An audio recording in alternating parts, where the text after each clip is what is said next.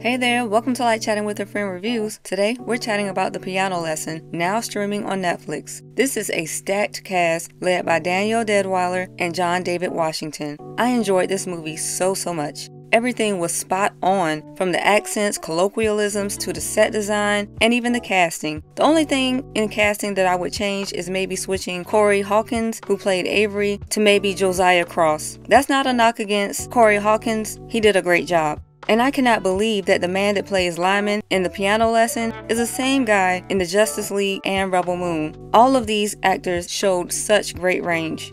But what is this movie about? This movie is incredibly layered. It has so many themes that I just can't get into all of them, but the main focus is the divide between the siblings Berniece, played by Danielle Deadwyler, and her brother, Boy Willie, played by John David Washington, as to whether resources that were passed down from their ancestors should be sold in hopes that the money could help them build a new life and a new legacy, or if those resources should be held dear and honored. This movie has my heart so, so full. I just want to cry. Not really tears of joy, and definitely not tears of sorrow, but more like tears of acknowledgement. The piano lesson isn't a trauma movie like some of the other slave movies or Reconstruction era movies that I've seen, but this is a love letter to the black American ancestors that made this country. I appreciate August Wilson for his artistry, and that Pulitzer Prize was definitely well deserved. I also appreciate the Washington family for reviving his work for a new generation. There were a lot of things that stood out to me in this movie, but I just want to touch on two right now. Doaker says to Wining Boy after Wining Boy's piano player monologue, What are you gonna do when your trouble gets like mine? But they never really say what Doaker's trouble was, so now I'm like super curious what is Doaker's backstory?